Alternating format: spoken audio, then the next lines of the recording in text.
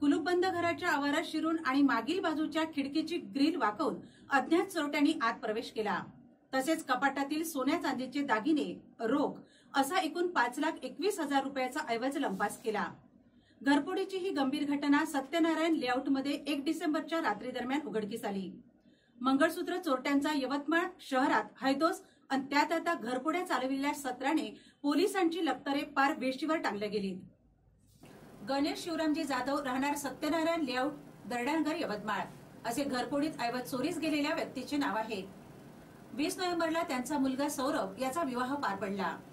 या विवाह सोहळ्यात गणेश जाधव यां- यांना मुलगा आणि सुनीच्या अंगावर लाखो रुपयाचे दागिने घातले होते. त्यातच मुलगा हा पुण्याला नोकरीला असल्याने तो पत्नीसह तेथे गेला. त्यामुळे गणेश जाधव त्यांची पत्नी संध्या जाधव असे दोघेही घरी होते. दरम्यान एक डिसेंबरला सायंकाळी सात वाजताच्या सुमारास ते पत्नी आणि मेवण्याला सोबत घेऊन दारव्हा येथे नातेवाईकांकडे गेले होते. नेमकी हीच संधी साधत अज्ञात चोरट्यांनी त्यांच्या घराच्या आवारात प्रवेश केला. त्यानंतर कुलूप न तोडता त्यांनी मागील बाजूने जाऊन खिडकीची ग्रील वाकविली. तसेच आत प्रवेश करून कपाटातील आणि अन्य ठिकाणी ठेवलेले सोन्याचे ब्रासलेट अंगठी मंगळसूत्र राणीहार बांगड्या पोहेहार टॉप्स चांदीच्या तोरड्या चांदीचे नऊ नाणे रोख पासष्ट हजार असा एकूण पाच लाख एकवीस हजार तीनशे रुपयाचा ऐवज घेऊन चोरटे पसार झाले. रात्री साडे दहा वाजताच्या सुमारास जाधव हे घरी पोहोचले. तेव्हा त्यांनी कुलूप उघडून आत प्रवेश केला. त्यानंतर त्यांना किचनची खिडकीची ग्रिल वाकलेल्या अवस्थेत दिसली. त्यामुळे त्यांना शंका आली. त्यांनी आत जाऊन पाहिले तेव्हा त्यां- त्यांच्या खरा प्रकार लक्षात आला. त्यांनी तत्काळ घटनेची माहिती अवधूतवाडी पोलिसांना दिली. त्यावरून ठाणेदार आनंद वागतकर हे पथकासमवेत तेथे दाखल झाले.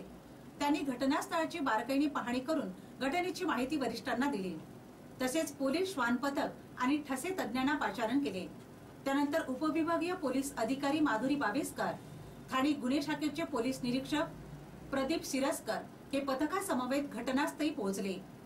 पोलीस ठसे तज्ञांनी घटनास्थळावरील वस्तूंवरून ठस्यांचे नमुने घेतले. त्यानंतर पोलीस श्वानाला प्रशिक्षकाने घटनास्थळावरील वस्तूचा स्मेल देत चोरट्यांचा माग काढण्याचा प्रयत्न केला. मात्र काही अंतर चालून श्वान घुटमळल्याने माग निघू शकला नाही. घटनेनंतर अवधूतवाडी पोलिसांनी गणेश जाधव यांच्याकडून अरीसर तक्रार घेतली. त्यावरून अज्ञात चोरट्याविरुद्ध बांधवी चारशे सत्तावन्न तीनशे ऐंशी कलमांमुळे गुन्हा दाखल करण्यात आला. आधीच यवतमाळ शहरात त्यातही अवधूतवाडी ठाण्याच्या हद्दीत मंगळसूत्र चोरट्यांनी अक्षरशः उच्चार मांडला आहे. गेल्या महिन्याभरात मंगळसूत्र चोरीच्या डझनांवर घटना घडल्यात. मंगळसूत्र चोरीचे सत्र संपत नाही तोच आता घरपोडीच्या घटनांमध्ये वाढ झालेली आहे.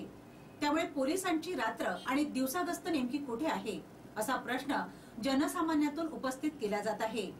केवळ शरीर दुखापतीच्या गुन्ह्यांचा छडा लावण्यावर उड्या मारल्या जातात.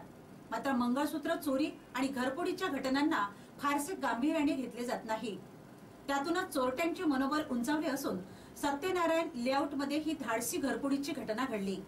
या घटनेने पोलिसांची लक्तरे वेशीवर टाकल्या गेली असल्याचे बोलले जात आहे.